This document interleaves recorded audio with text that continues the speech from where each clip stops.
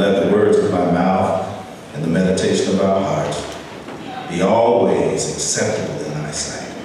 O Lord, our strength and our redeemer. In the name of the Father, and the Son, and the Holy Spirit. Amen.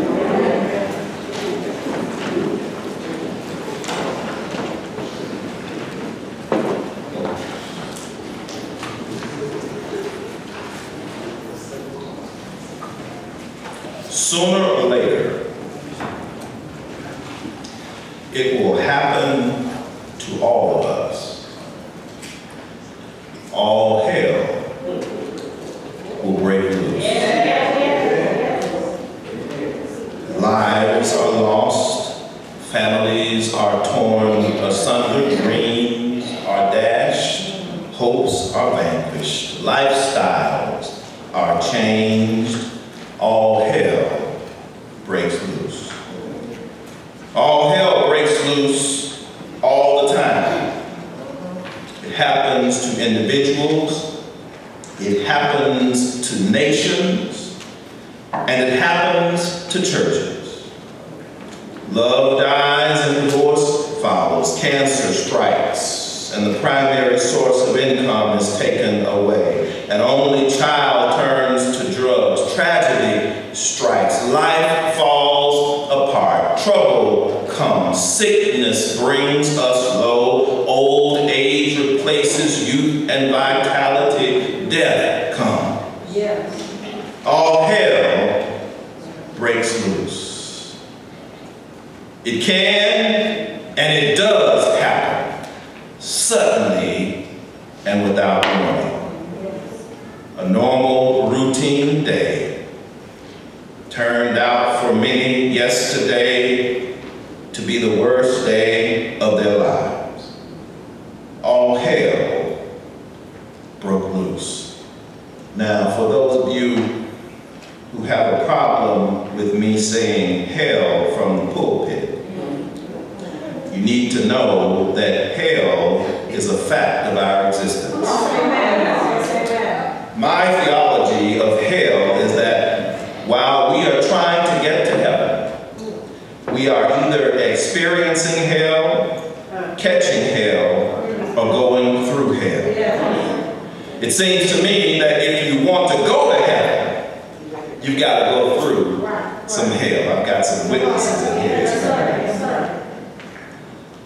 The poetic paradigm of the person of Job points to a time in biblical narrative when all hell broke loose. The length of the text and the limitations on our time today will not allow me to give a full review of the life of Job, but just let me say this. Job went from riches to rags and from bad to worse in quick time and in rapid succession. The Bible records that there was a man by the name of Job who lived in the land of Uz, wherever Uz was. We learned that Job was a good man, a decent man, a faithful husband, a doting father, and a successful businessman. In addition to all these noble attributes, we learn that Job was a man of deep faith and spiritual conviction. He was a righteous man who loved God and would have nothing to do with evil. Because of all this, Job was the most prosperous man of his time. The scripture tells us that there was nobody greater than Job in the land. He had many cattle, he had many sheep, donkeys, and goats. All of his businesses were turning a profit. His seven sons and three daughters were good kids who loved him and who loved each other. The, the children of Job were a close-knit group. So much so that they spent time with each other, hanging out at each other's homes. They ate together and they played together.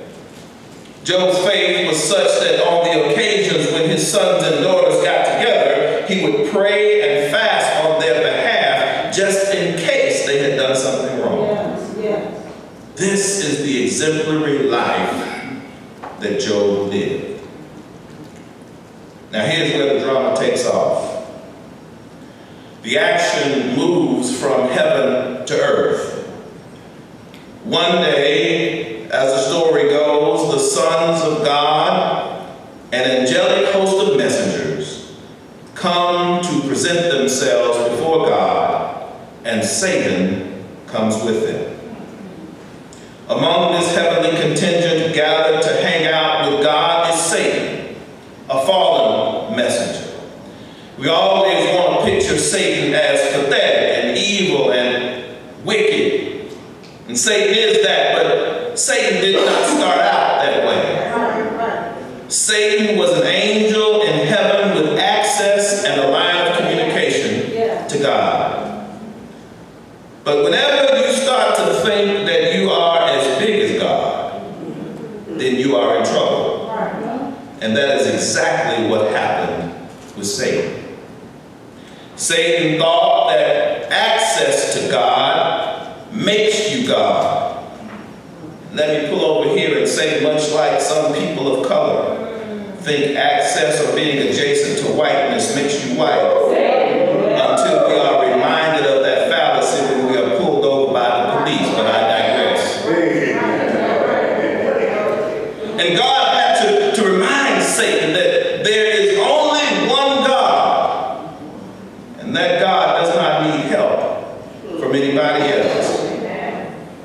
So even though the sons of God came to present themselves before God and Satan comes among them, his status and his position has changed. And even in the crowd of angelic personalities, Satan got God's attention. I don't know how. I don't know what happened. Maybe he was late for the meeting. Maybe he was wearing some strange clothing, something that Satan had on was a little bit different, something that Satan did on that day got God's attention. God said to Satan, Where have you been and where are you coming from? Satan answered, From walking back and forth on the earth, looking for someone to devour looking for someone to mess with and mess up. Make no mistake about it, beloved, Satan. Satan has one purpose and one purpose only in this world, and that is to destroy this world, to mess up your life, to ruin your marriage, to break up your home, to wreck this society. Right, right. Satan told God, I've been looking for someone to destroy. And without a second thought, God offers up Job. Job is minding his own business, doing his thing, and he's about to become a participant in some divine satanic drama trauma between God and Satan. And God said to Satan, Have you considered my servant Job? He is a good man, one who is into righteous, godly living, who will have nothing to do with evil. Theologically, Satan accuses Job of serving God only because God takes such good care of him. Satan says that the reason Job worships God is not because is, is not because God is worthy of worship, but because he has a big house and many possessions and a good family. This argument by Satan is strangely modern in its context, beloved, because one is made to wonder whether or not many of us are doing the same thing. When things go well, we worship God. Do we worship God because of who God is or because God is taking such good care of us at the time? And when you listen to some testimonies, I wonder if we worship God because God is God and is worthy of our praise, or if we worship God because of where we live, or what we wear, or what we drive, or what we had to eat yesterday. Satan said to God, No wonder Job serves you. You're taking such good care of him. But take all his possessions away from him, and he will curse you to your face. God said, All right. All that he has is in your hands. Only do not touch his life. So Satan's response, show me where I can find it. God gives Satan these instructions. All that he has is in your hands. Only do not put your hands on him. And off Satan goes. And for Job, all hell yes. is about to break loose. Yes. Look at what happens in the life of Job. One day, a messenger comes and tells Job that the Sabaeans raided Job's field and took all of his oxen and donkeys and killed all of his servants, and he was the only one left to tell. Three times, scripture tells us, Job received breaking news of one crisis after another. Three times it says while he was still speaking. Three servants of Job have escaped to bring him the news that fire fell from heaven and burned his sheep and servants. The Chaldeans formed a gang and killed his camels and his servants. And finally, a great earthquake came and fell on the home of his eldest son, and all of his children were killed. While Job was hearing the news of one event, somebody was bringing him more bad news. Before he could digest the horror of one report, somebody was bringing him worse news. Job was overwhelmed by events in his life and the circumstances that were spinning out of control. For Job, all hell was breaking loose. He lost everyone and everything that he ever had. And there was nothing, absolutely nothing he could do about it.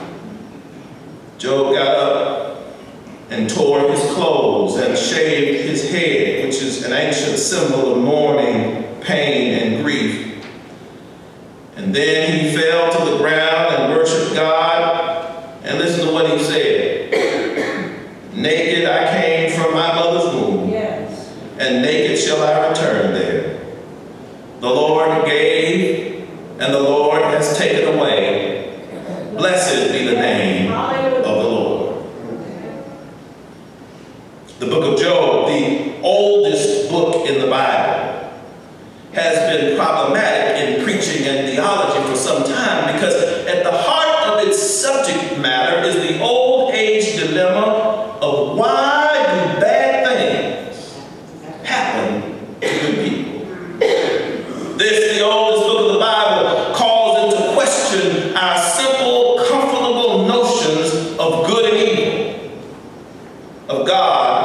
versus Satan. Nevertheless, we must deal with Job's dilemma. Because I dare say that Job's dilemma is really our dilemma. Just like the blessings of God are part of our life, so is the suffering and pain that we must endure in this life. And the book of Job teaches us about the nature of suffering, the power of faith, and the wisdom of God in human life. The, the first thing that we must come to grips with in understanding the book of Job is that living an exemplary life of faith does not exempt us from suffering and trials in this life. Amen. Living a life of faith will not prevent hell from breaking loose in your life. Come to church 365, 24-7, Pray 6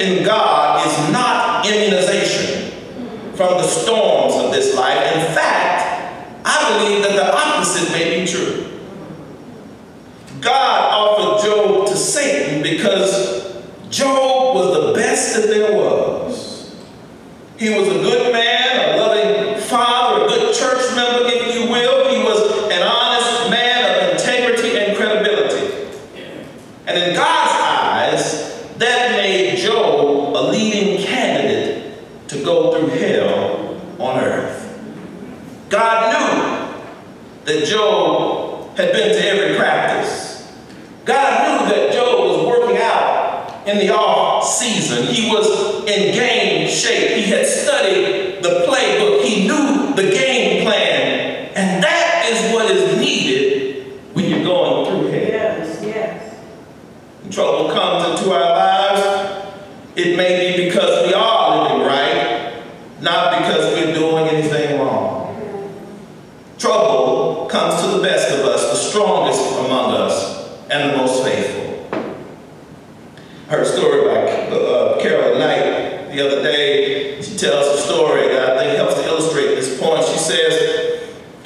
playing golf at the Pinehurst Golf Club in North Carolina. She was playing well when it went from a sunny day to a stormy day. The clouds rolled in and it began to thunder, followed by lightning. She needed to run for cover. And having never been in this situation before, she ran When suddenly I heard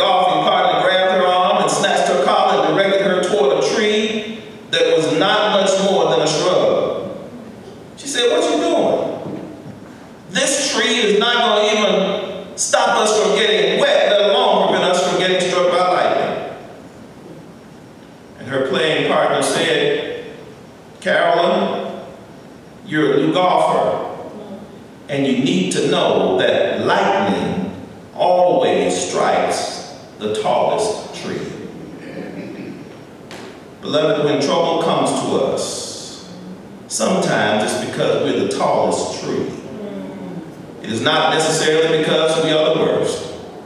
Sometimes it is because we are the best that God has to offer.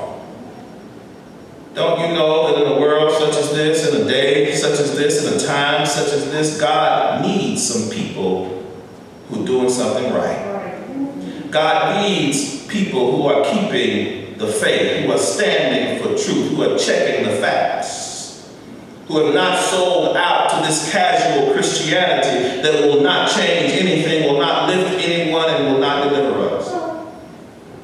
God needs some people who are familiar with the game, who can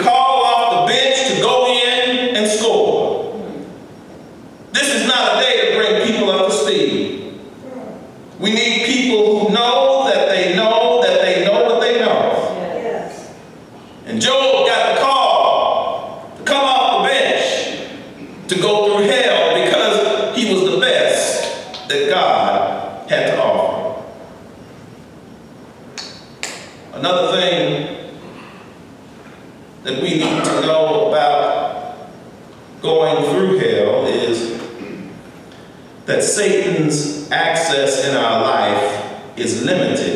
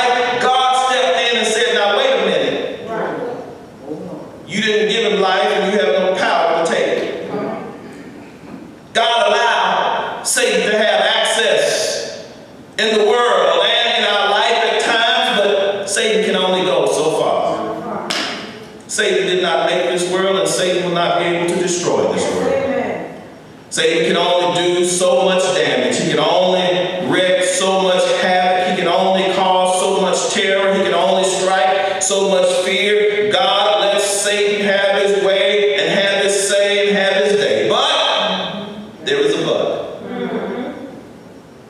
And I know it looks like he's winning right now. People are afraid and feel hopeless even in this political climate in which we find ourselves existing. I know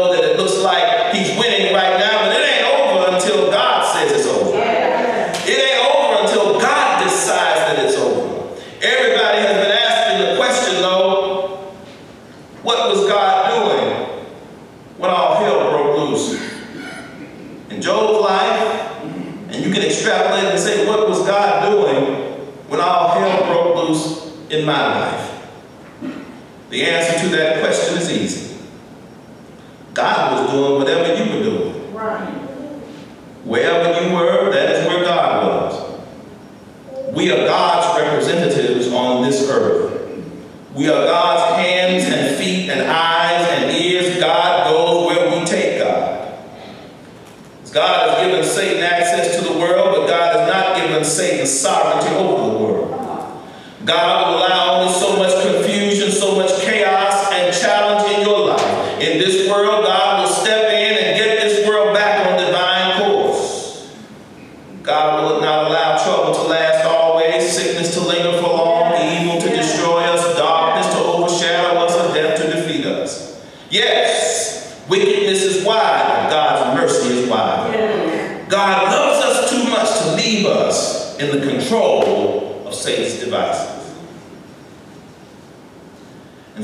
I'm going to let you go.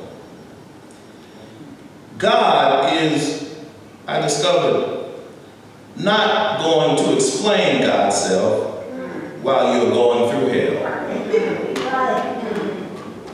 But I do know this. God is going to reveal God's self while you're going through hell. Why does God do it even for a season?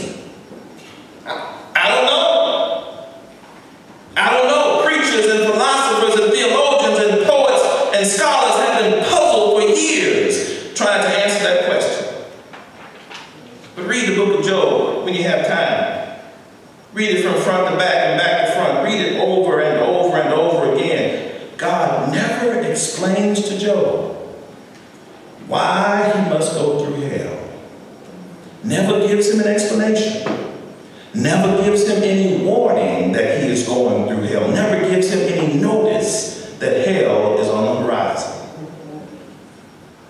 And it has blown the mind of people who read the book of Job that God never explains to Job why all of this trouble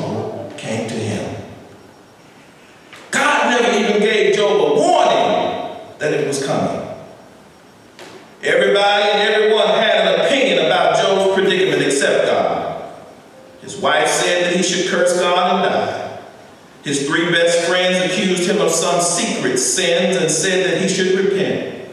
Everybody had something to say but God.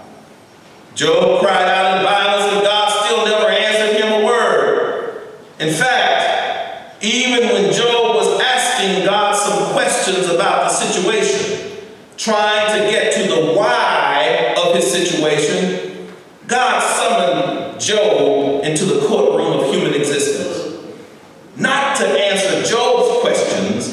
but to ask some questions of his own. Come here, Joe. Where were you when I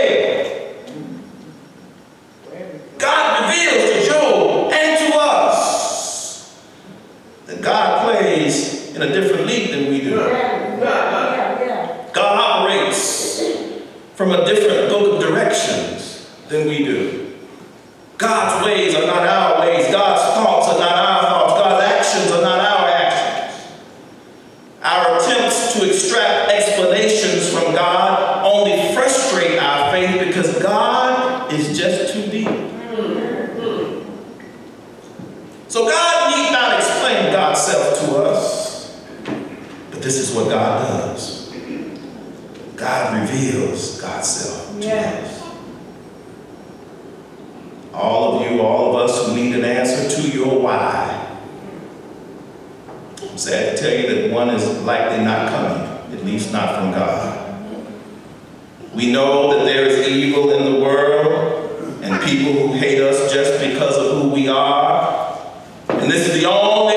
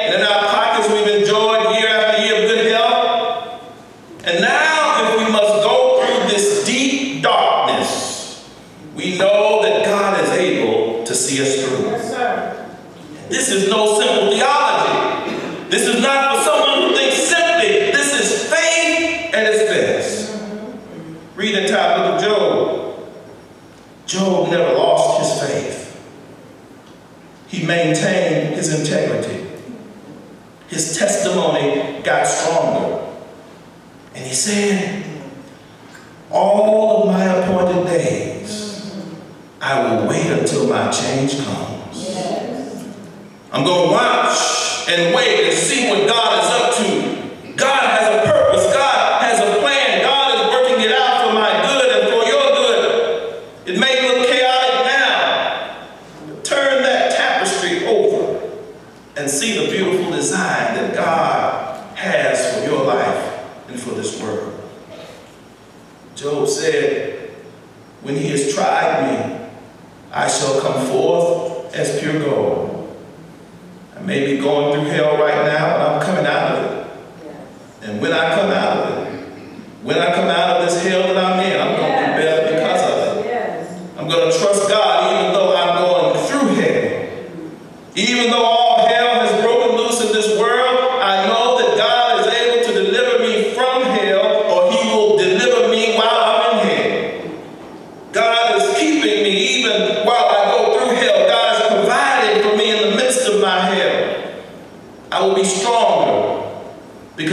dentro